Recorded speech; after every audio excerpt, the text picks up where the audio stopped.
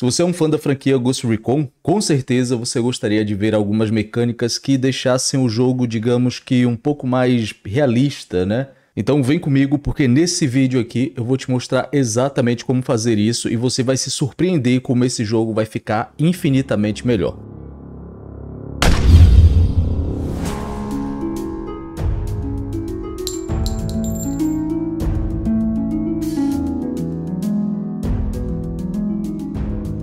Ok, Blaze Guerreiros, eu sou William Ruff. E hoje é dia de falar aqui sobre Ghost Recon Breakpoint. Vamos falar especificamente sobre o Spartan Mod, que com alguns ajustes transformou o game numa experiência assim infinitamente mais tática, mais imersiva e mais hardcore, beleza? Fique esperto aí, porque eu vou falar tudo sobre ele aqui Assiste o vídeo até o fim para poder ficar por dentro de todas as informações, beleza? Por que, que eu tô dizendo isso? Porque muita, mas muita gente mesmo assiste o vídeo pela metade ou só assiste um pedaço e depois vem perguntar aqui nos comentários um monte de coisa que já foi respondida no próprio vídeo beleza? Então se você tem alguma dúvida sobre isso, confere o vídeo até o fim, ok? E aí se a sua dúvida não foi respondida, aí sim você vem aqui no campo dos comentários e faz sua pergunta, beleza? Mas antes, claro, se inscreve aí se for novo por aqui. Se você curte jogos como Ghost Recon, esse aqui é o local certo para você estar, beleza? Aqui você confere todas as novidades, dicas, gameplays táticas e tudo mais. Se inscreve aí, ativa o sininho e vamos que vamos. Que satisfação, aspira. Então, senhores, primeiramente é importante dar uma contextualizada aqui o que é o Spartan Mod. É, para você que não tem acompanhado muito as notícias de Ghost Recon Breakpoint, inclusive aqui no canal, já que a gente passa tudo em tempo real aqui, é, em novembro de 2021, do ano passado, né, um membro da comunidade chamado Vandar, eu não sei exatamente assim que se pronuncia esse nome, mas enfim, tá aí na tela e foi esse cara aí. É, então, esse cara, ele publicou um grande mod para Ghost Recon Breakpoint. Naquela época, se eu não me engano, foi o primeiro também. Depois saíram outros menores, mas até hoje esse é o maior de todos. Ele publicou isso aí e esse mod ele acabou ganhando relevância na comunidade exatamente porque ele mudava alguns detalhes bem interessantes no game, exatamente para tornar ele mais realista, mais desafiador e tal. É, esse mod ele é exatamente para quem busca esse tipo de jogatina, né? mais tática, mais desafiante. Quem achou que o Breakpoint ficou fácil em relação ao Wildlands vai adorar isso aqui, com certeza, né? Desde que o Breakpoint foi lançado, é, a comunidade reclamou muito de coisas bem específicas, como o TTK, por exemplo, que é bem desajustado, é, as mecânicas de sobrevivência quase não fazem diferença nesse jogo, e isso também foi muito criticado, e enfim, entre outras coisas, né? Várias outras coisas foram criticadas, e foi com base nessas críticas que esse guerreiro aí criou esse mod e deu muito certo. Vamos dar uma conferida nele aqui para vocês entenderem por que, que eu tô falando tão bem disso.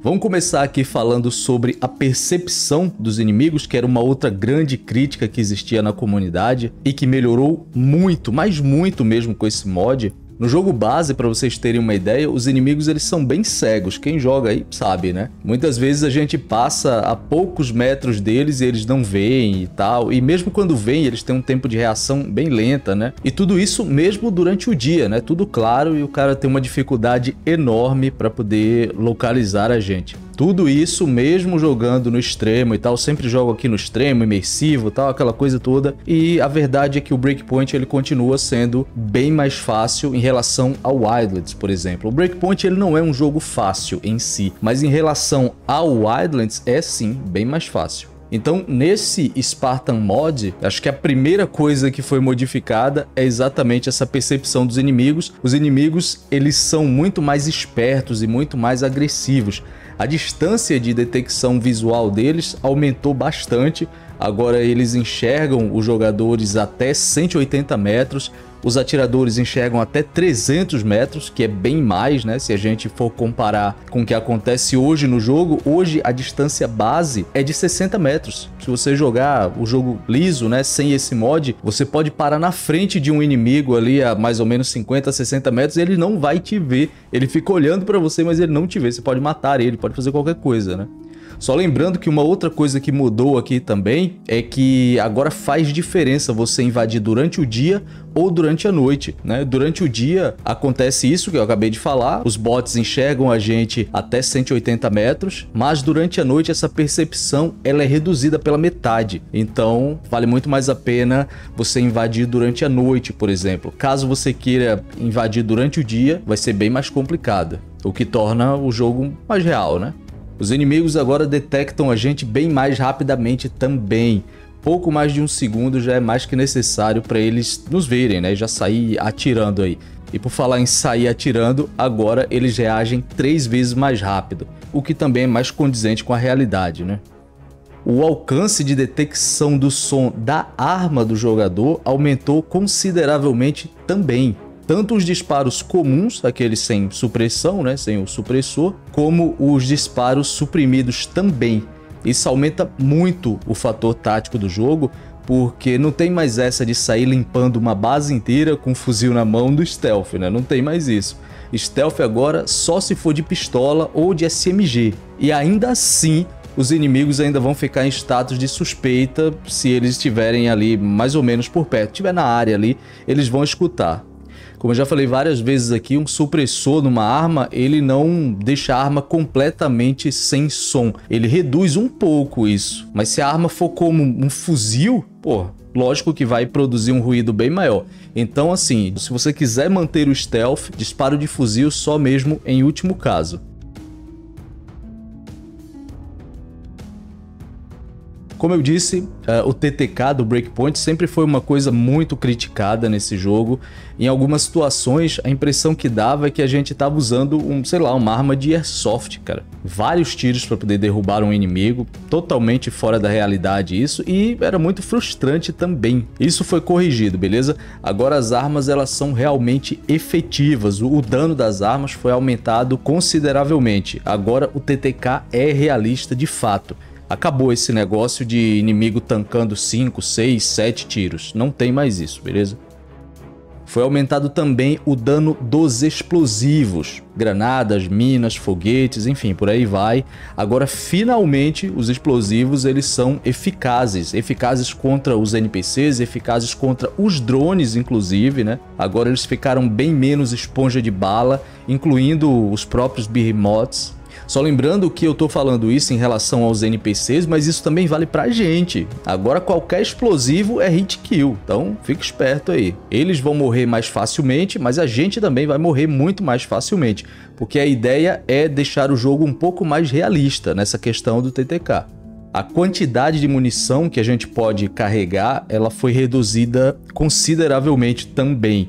Acabou esse negócio aí de carregar mais de 400 munições e tal. Agora você carrega os seus 4 megs ali no colete. Tem um bônus, né, para carregar um, um, adicional, alguma coisa assim. Mas é, é basicamente isso: 4 no meg e um na arma. Só isso. Ou seja, se você não gerenciar bem a munição, com certeza você vai ficar sem, sem choro, não adianta, beleza? Então é isso, né? Essas são as principais mudanças em relação ao jogo base, mas tem outras menores também, como por exemplo a regeneração de saúde, ela ficou mais lenta, isso torna o jogo bem mais punitivo em relação ao dano que você recebe, então evite sofrer dano porque vai ser complicado você se curar depois, beleza? Caso você morra, é, a punição também é maior, porque você vai voltar exatamente da forma como você morreu. Nada é recarregado, né? Como acontece hoje. Se você morreu sem munição, você vai voltar sem munição, vai morrer de novo, sabe? então fique esperto. Ah, e se você quiser fugir do combate, saiba que agora ficou bem mais complicado também porque a resistência ela foi diminuída, ou seja, o personagem agora ele vai ficar fadigado com mais frequência. Como eu disse, são ajustes pontuais ali, né, que visam tornar o jogo bem mais punitivo, bem mais imersivo e, consequentemente, também bem mais tático pra gente. Comenta aí embaixo né, o que é que vocês acharam desses ajustes todos e para quem tiver interesse em testar, em jogar ele e tudo mais, eu vou postar um tutorial aqui nos próximos dias mostrando como é que instala ele e tal. Lembrando que é um mod, beleza? Então só está disponível para PC, infelizmente. É isso aí. Forte abraço a todos. Foco na missão. E até a próxima.